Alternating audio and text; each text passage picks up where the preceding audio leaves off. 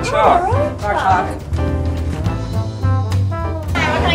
Um, can I get the rock chalk on wheat? Sure. Would you like it toasted? Uh, definitely, yeah.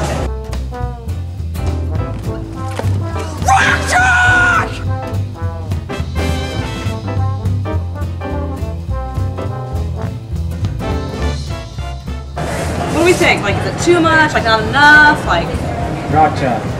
it's good. Can you figure out the answer? Rock chalk?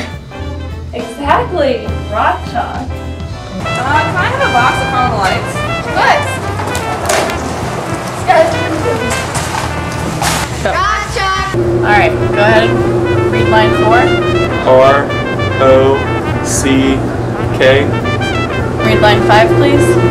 C H A L K.